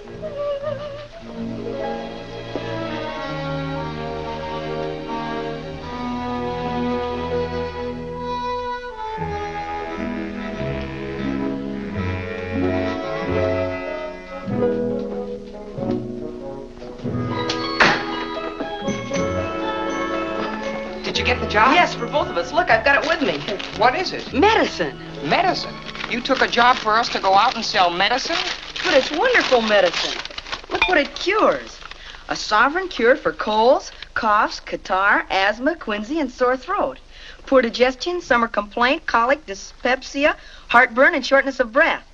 Lumbago, rheumatism, heart disease, giddiness, and women's complaints. Nervous prostration, St. Vitus dance, jaundice, la grippe, proud flesh, pink eye, seasickness, and pimples. It's made from a secret formula known only to Dr. Bartlett. We get 25 cents commission on every bottle we sell, and he's giving us the territory of all Manhattan Island. Well, lots of fathers and mothers' friends have some of those diseases. Let's start out by calling on them. Yes. Oh, what if they ask us if we use it at our house? Oh, yes, it would be better if we could say we did. Excuse me? Oh, is that the tea for Mrs. Day? Yes. Well, I'll take it up to her. Thank you.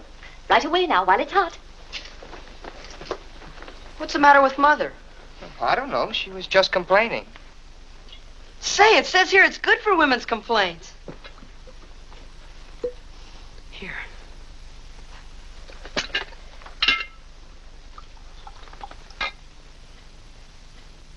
Yes, sir. Chesapeake and Ohio and eight. New York Central, three quarters. I'd like to see Mr. Day about those Morris and Essex bonds. Today's very busy this morning. You'll have to wait.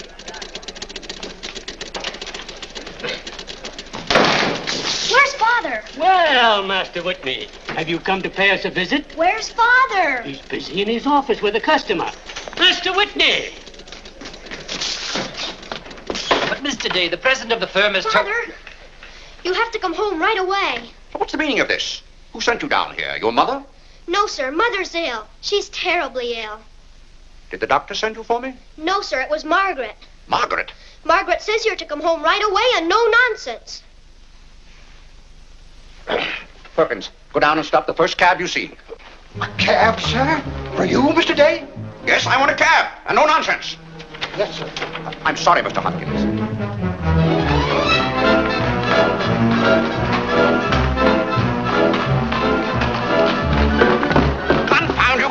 You, can't you go any faster? All right.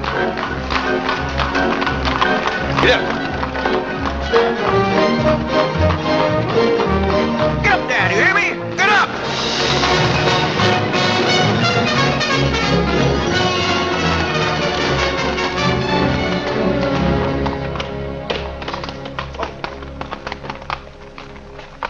Oh, Doctor, how is Mrs. Day? She's a pretty sick woman. Oh, what's wrong with her? Well, do you know or don't you?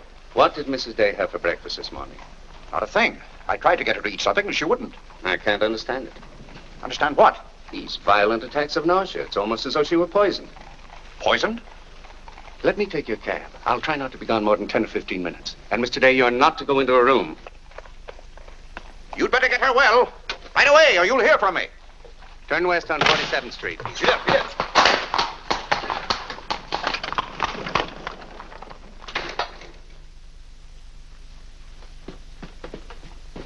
How is Mother? I don't know. Well, she better be good and sick, or Father may be mad at me for getting him up here. Especially in a cab. Has your father come? Yes, just now. Where are you going, Margaret? I have to go for the minister.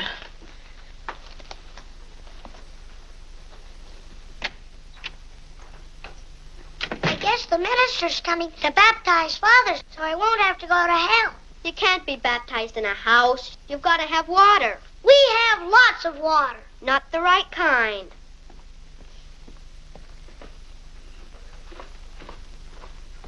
Is Mother better, Father? How can I tell? She wouldn't let me in the room with her. These confounded doctors never know what's the matter with anybody.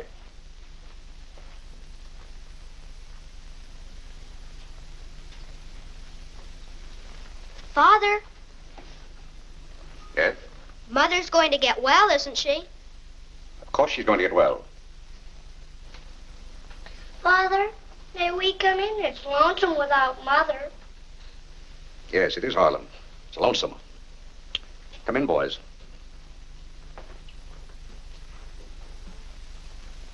What have you been doing, Harlan?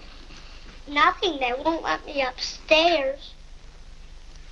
What about you, Whitney? I was supposed to learn the rest of my catechism. Will you hear me, Father? Yes, Whitney, I'll hear you. Start here. How many parts are there in a sacrament? Two, the outward visible sign and the inward spiritual grace.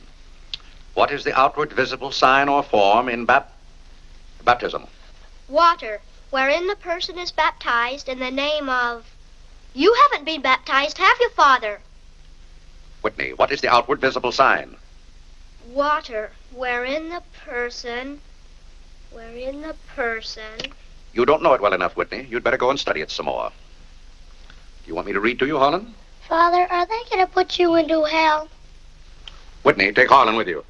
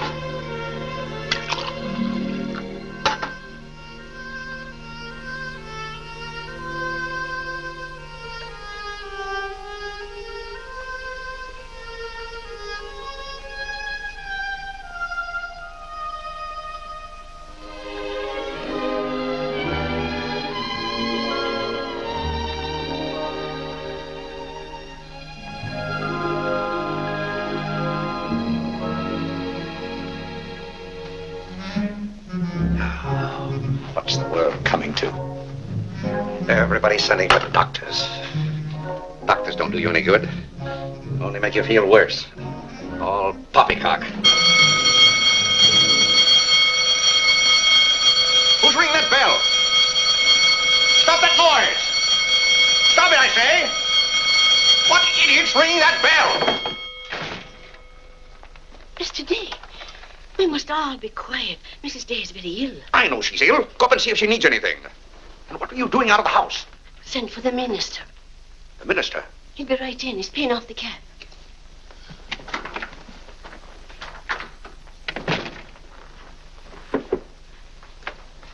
I was deeply shocked to learn the serious nature of Mrs. Day's illness. Will you take me up to her? She's resting now. She can't be disturbed.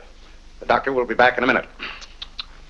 Mrs. Day has been a tower of strength in the parish. Everyone liked her so much.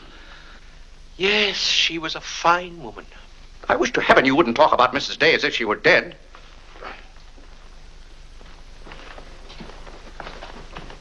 Is the doctor back yet? No. Does she need him? Well, she's kind of restless. She's talking in her sleep and twisting and turning.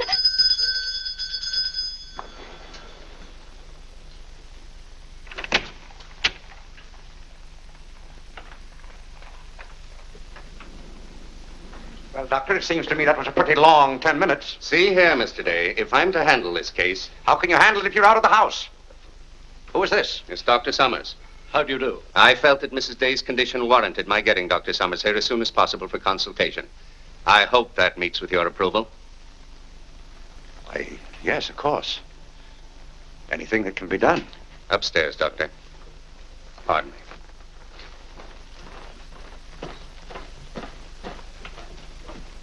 Mrs. Day is in good hands now, Mr. Day. There's nothing you and I can do at the moment to help. Dr. Lloyd. Yes? There's something that's troubling Mrs. Day's mind. Oh? I think you know what I refer to. Yes. You mean the fact that you've never been baptized? Yes, I gathered that you knew about it from your sermon last Sunday. But let's not get angry. I think something had better be done about it. Yes, Mr. Day? When the doctors get through up there, I want you to talk to Mrs. Day. I want you to tell her something. Why, I'd be glad to. You're just the man to do it. She shouldn't be upset about this. I want you to tell her that my being baptized would just be a lot of confounded nonsense. But, Mr. Day. No, she'd take your word on a thing like that. And we both must do everything we can to help her now. But the solution is so simple. It would take only your consent to be baptized. That's out of the question. And I'm surprised that a grown man like you would suggest such a thing.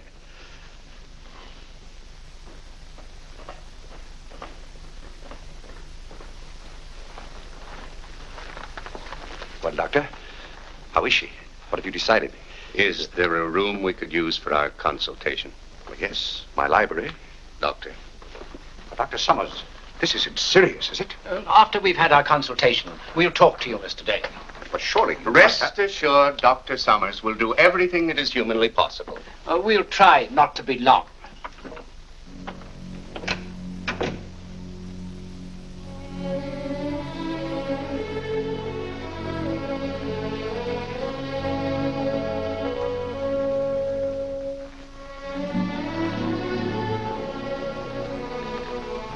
Tell me, this Dr. Uh, Summers, very highly thought of, isn't he? Oh, yes. Lavinia is seriously. If anyone could help her, he could. Don't you think? Very fine physician.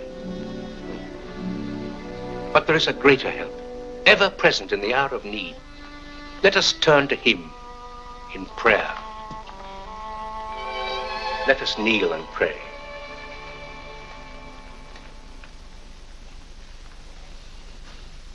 Let us kneel and pray.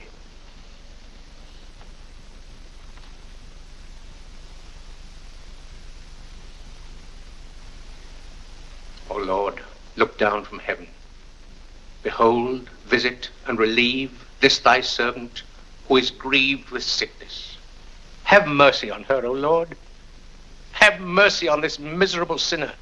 Forgive her, and extend thy accustomed She's goodness- not a miserable sinner, and you know it. Oh, God! You know Vinnie is not a miserable sinner. She's a fine woman.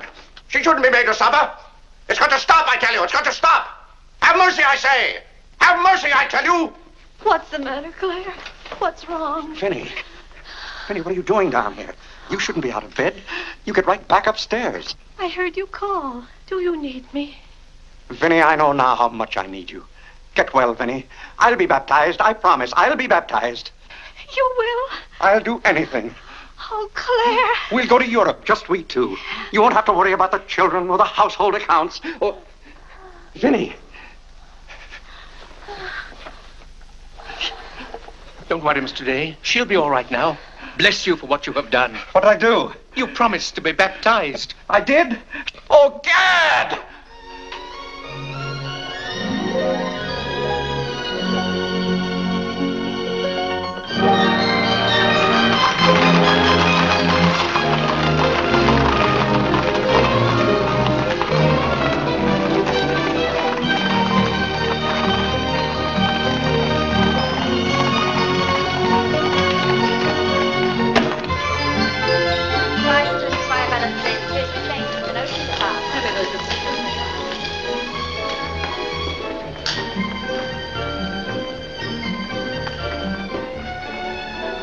Isn't it drafty here, Mother? Shall I get your coat, Mother? The No, thank you. mustn't take cold. I'm quite comfortable, thank you. Come on now, let's stay together. Harlan, don't you get lost again.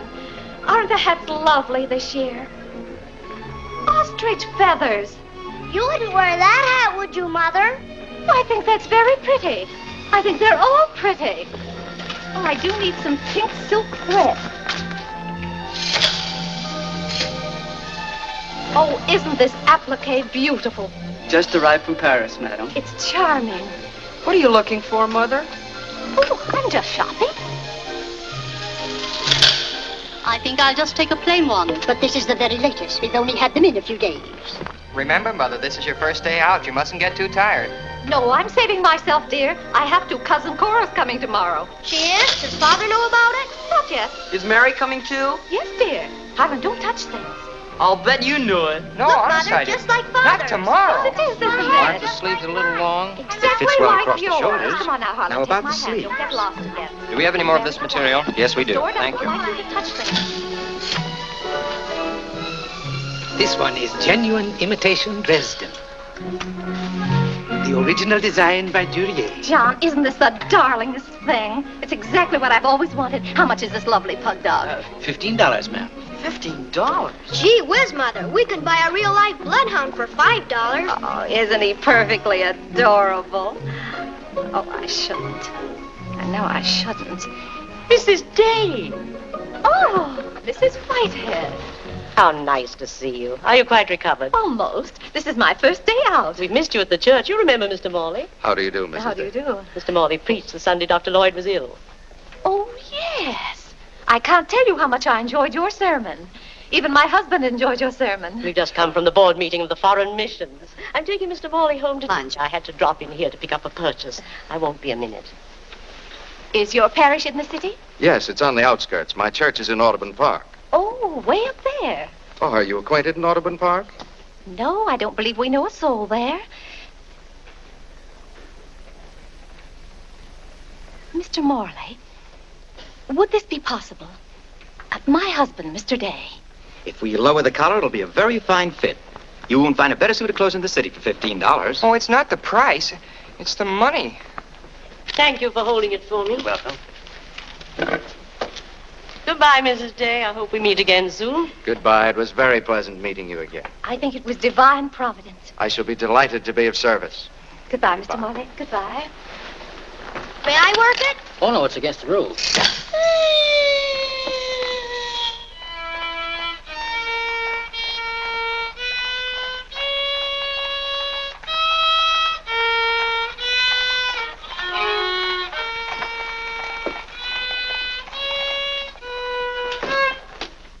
Hello. What did you bring home more medicine for? Dr. Bartlett paid us off, didn't he? Oh, yes. Oh, Jiminy, you scared me. I've got to take $15 right down to McCreery's. I bought a suit there this morning, and I said I'd have the money this afternoon. Gee, that's too bad. What's too bad? Well, well, you see, Clarence. What? Dr. Bartlett paid us off in medicine. Oh, God! Well, he thanked us, too, for our services to mankind. But my suit, I've got to have it tomorrow. And besides, they're making the alterations. I've got to have $15. Maybe you could offer them 15 bottles of medicine. Oh, they wouldn't take it. McCreery's don't sell medicine. Father. Vinnie, I'm home. Good afternoon, sir. How's your mother, Clarence? Oh, the ride this morning did her a lot of good. She'll be well enough to go to church with us next Sunday. Ah, fine. But, Father, have you noticed I haven't been kneeling down in church lately? Don't let your mother catch you at it. Then I have to have a new suit of clothes right away. That doesn't make sense. I can't do anything in your clothes that you wouldn't do. Well, if my old clothes make you behave yourself, I don't think you ought to wear anything else. Oh, no, you're you and I'm me. I want to be myself. I mean, suppose I should want to kneel down in front of a girl. Why, in heaven's name, should you want to do a thing like that? Well, I've got to propose to a girl sometime. Clarence. Well, not right away, but for $15 I can get a good suit of clothes. Clarence, you're beginning to talk as crazy as you. Hello, Vinnie. You're feeling better today, huh? Much better, thank you, Claire. You don't have to hurry home from the office every day like this. Uh, with business the way it is, there's no use going to the office at all. Yes, you do look better, Vinnie. What did you do today? Well, I got a carriage and took the boys for a ride, and we stopped in at McCreery's. Oh, Claire, I've the most wonderful news for you. Who do you think I met? Mr. Morley. Morley? Never heard of him. Remember that nice young minister who substituted for Dr. Lloyd one Sunday? Oh, yes. Bright young fellow. Preached a good, sensible sermon. Short one, too. Ought to be more ministers like him. Well, Claire, his parish is in Audubon Park. You know, way up above Harlem. Nobody knows you up there. You'll be perfectly safe. Safe? Vinnie, what the devil are you talking about? I've gone all over everything with Mr. Morley, and he's agreed to baptize you. Oh, he has. the young whippersnapper. Very nice of him. We can go up there any morning. We don't even have to make an appointment. Who said I was going to be baptized at all? Why, Claire, you did. Now, Vinnie. You gave me your promise, your sacred promise. You said I'll be baptized. I promise I'll be baptized. Well, what if I did? Claire, aren't you a man of your word? Vinnie, we all thought you were dying. So naturally I said that to cheer you up. As a matter of fact, the doctor told me that's what cured you. Well, it seems to me pretty ungrateful of you to press this matter any further. My being well has nothing to do with it. You gave me your word. You gave the Lord your word. And you're going to march yourself up to Mr. Morley's church some morning before you go to the office and be christened. If you think for one minute... What I'm in the name of heaven is that? If you think I'm going to let you add the sin of breaking your solemn and sacred promise, I demand to know what that repulsive object is. It's perfectly plain what it is. It's a pug dog. What is it doing in this house? I wanted it and I bought it. You spent good money for that? Claire, don't try to change the subject. How much did you pay for that atrocity? I didn't pay anything for it. I charged it. Charged it, I might have known. How much was it? Fifteen dollars. Fifteen dollars? Uh, Claire. For that eyesore? Don't you call this lovely work of art an eyesore? It will look beautiful sitting on a red cushion by the fireplace in the living room. If that sits in the living room, I won't. Furthermore, I don't even want it in the same house with me. Get it out of here. Claire, you're not going to get out of this room until you set a date for your baptism. I'll tell you one thing. I'll never be baptized as long as that hideous monstrosity is in this house. All right. All right. Clarence. That pug dog goes back this afternoon and he's christened first thing in the morning. You heard him, didn't you, Clarence? You heard him say that he'd be baptized as soon as I got this pug dog out of the house. You hurry right back to McCreery's with it and be sure they credit us with $15. Oh, Mother, while we were at McCreery's, I happened to see a suit I'd like very much, and the suit was only $15. Well, Clarence, I'm afraid your suit will have to wait until after I get your father christened. Well, no, I meant that since the suit cost just the same as the pug dog, if I exchanged the pug dog for the suit. Why, yes. Then the suit wouldn't cost your father anything. Why, how bright of you, Clarence, to think of that. I'd better start right away before McCreery's closes. Yes. Now, let's see. If we're going to take your father all the way to Audubon Park, Clarence, on your way back, you stop at the livery stable and tell them to have a cab here at 8 o'clock tomorrow morning. Mother, a cab? Do you think you ought to? We can't walk all the way to Audubon Park. But you know what a cab does to Father. This is a very important occasion. All right. Get one of their best cabs, the kind they use at funerals. Well, those cost two dollars an hour, and if Father gets mad, Well, if your father starts to argue in the morning, you remember. Oh, he agreed to it. We both heard him.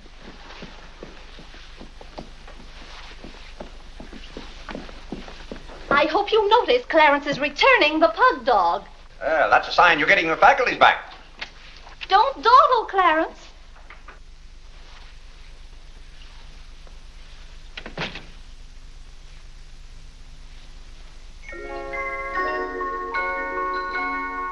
Come to me, sweet Marie, not because your face is fair, dear Vinnie, it's good to hear you singing again.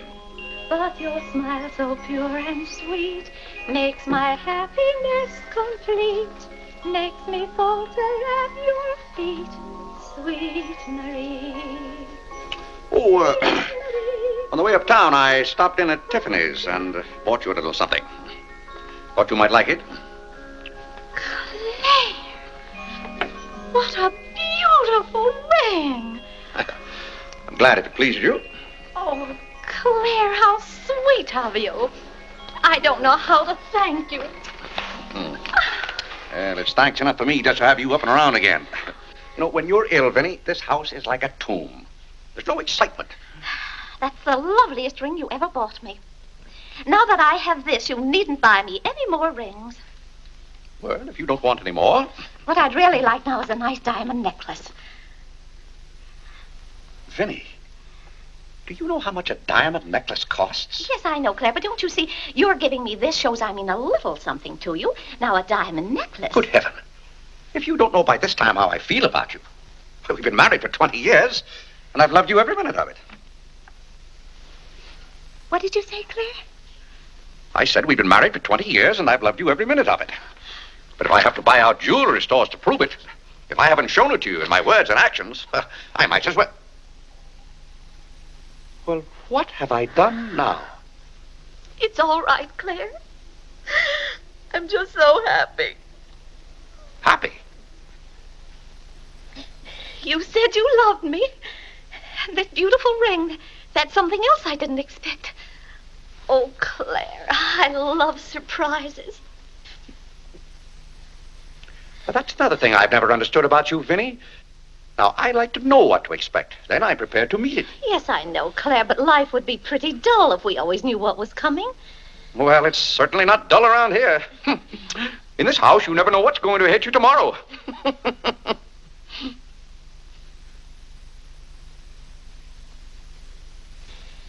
Every daisy in the dell knows my secret, knows it well, and yet I dare not tell thee, sweet Marie, sweet Marie, Sweet Marie, come to me, come to me. not because your face is fair, love to see. Love to see. Every daisy in the dell knows my secret, knows it well, and yet, Yet I I dare dare not not tell. Sweet Marie.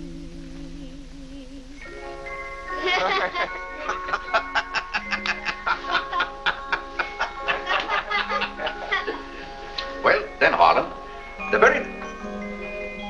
Who are you? What's your name? Margaret, sir. Can't be Margaret. We've got one Margaret in the house. At home, they call me Maggie, sir. All right, Maggie. if her name's Margaret, that's a good sign. Maybe she'll stay a while. Do you know, boys, your mother used to be just the same about cooks as she is about maids. Never could keep them for some reason. Well, one day about uh, 14 years ago. Yes, it was right after you were born, John. My, you were a homely baby.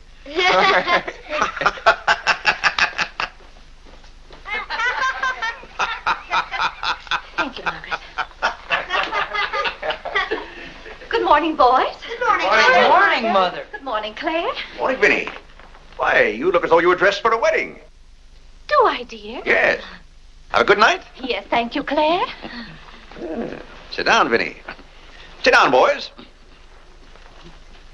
Oh, thank you, Clarence. Well, seems to me everyone's all dressed up this morning. What's on the program for this fine day?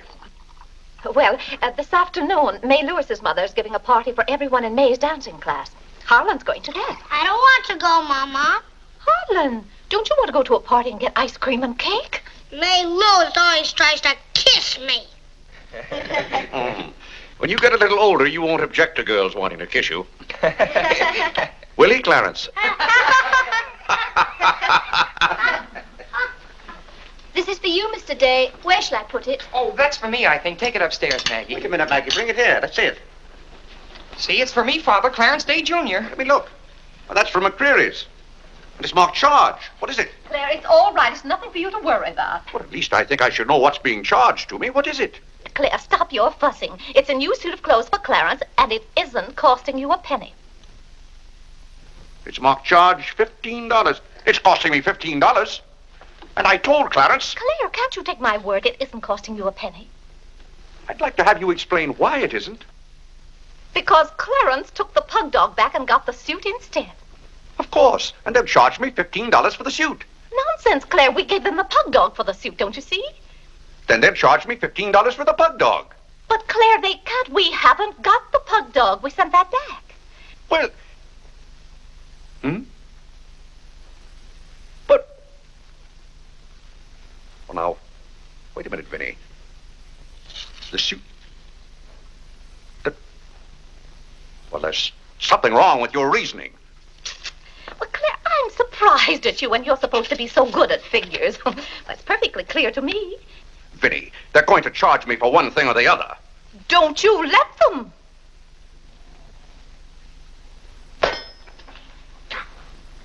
Well, McCreery's aren't giving away suits and they aren't giving away pug dogs. Why, it should be clear to a child that if Clarence sent the pug dog back, they. What? I will not have that botanical freak in this room. John, have you been going around this town selling medicine? Yes, Mother. Dog medicine? No, Mother, not dog medicine. This letter from Mrs. Sprague says you sold her a bottle of this medicine and that her little boy gave some of it to their dog and it killed him. Now she wants $10 from us for a new dog. Here, let me see that letter. Well, he shouldn't have given it to a dog. It's for humans. Why, it's Bartlett's beneficent balm made from a secret formula. Have you been going around among our friends and neighbors selling some patent nostrum? But it's good medicine, Father. I can prove that by Mother. Vinnie, what do you know about this? Well, nothing, Claire. But I'm sure John. didn't- No, I mean that day Mother was. That's enough. You're going to every house where you sold a bottle of that concoction and buy it all back. But it's a dollar a bottle. I don't care how much it is. Here, I'll give you the money now. How many bottles did you sell? 128. A hundred and twenty-eight? Claire, I always told you John would make a good businessman. Young man, you'll have to come down to my office with me. I'll give you the money to buy back that medicine. $128. And $10 more for Mrs. Sprague's dog. That's $138. Thank you, Vinnie. But it's all coming out of your allowance. That means that you'll not get another penny until the whole $138 is paid up. I'll be 21 years old. Dogad! What's the matter, Claire? What's wrong?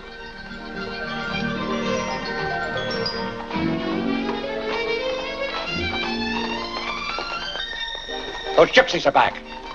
Don't let anyone answer the door. They're moving in on us again, bag and baggage. I won't have it, I tell you. I won't have it. Now, Claire. Don't let them in. Claire, hush up. They'll hear you. Tell them to get back in that cab and drive right on to Ohio. As if we could turn our own relatives away. But they're extravagant enough to take cabs when horse cars run right by our door. And now you be quiet and behave yourself. John, come help with the baggage. Why do they always have to pounce on us without any warning? Cora, Mary. Well, it's so good to have you back again. How are you, Vinnie? We've been so worried about Oh, you. I'm fine oh, now. Did you have fun in Springfield? Oh, was it? John. My, you're still growing. Thank you, Cousin John, Cora. go get the baggage. There's Hello. Whitney. Whitney. How are you, darling? Fine, thank you. And little Harlan. Have you been a good boy? No. Claire, the girls are here. Oh, Cousin Claire, here we are again.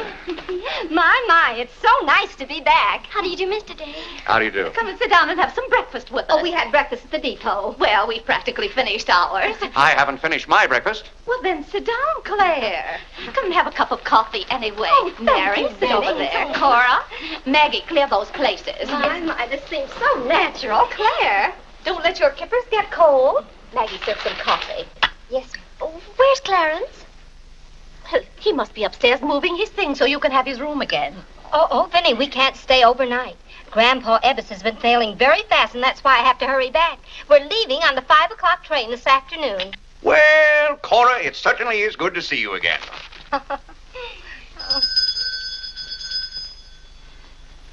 Well, who can that be? Well, this time it can't be another special delivery letter for Clarence. Uh, while you were in Springfield, our postman was kept pretty busy.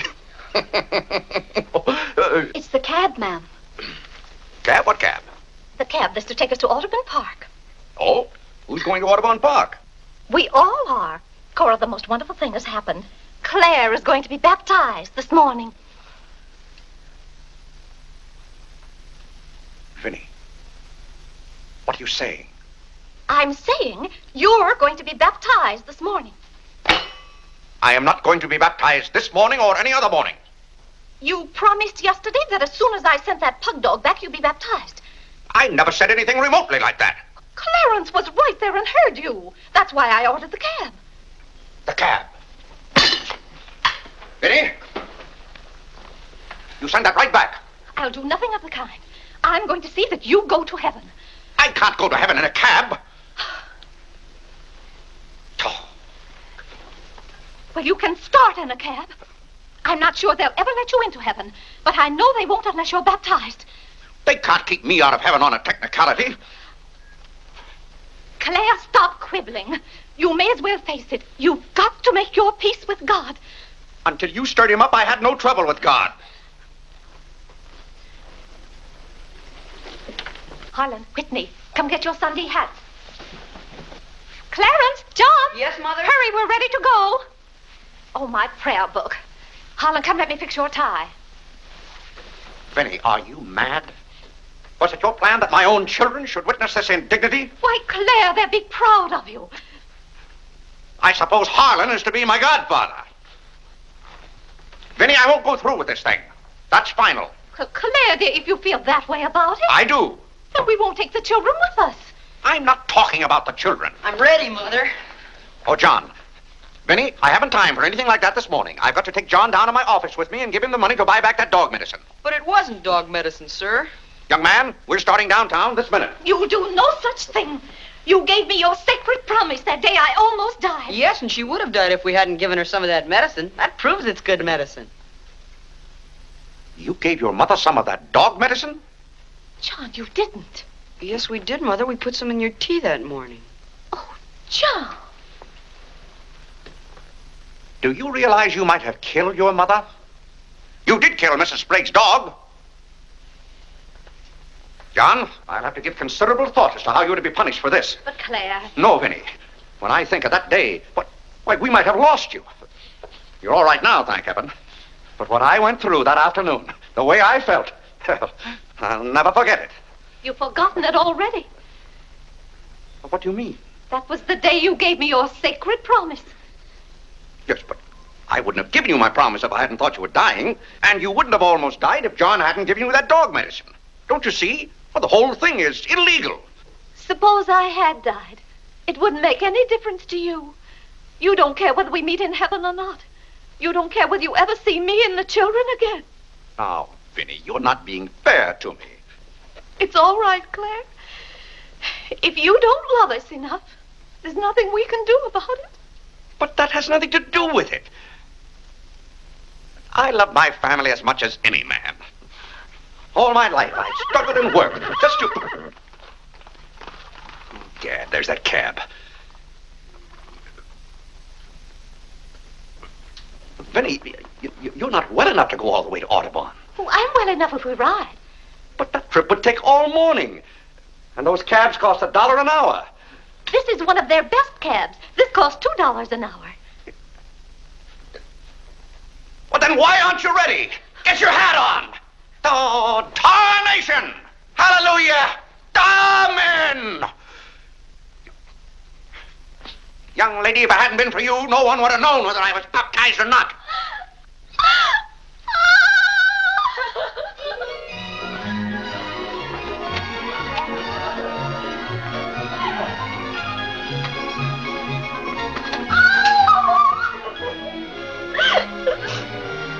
Oh, Gad! Good morning, Mr. Day. You're going to the office? No, I'm going to be baptized.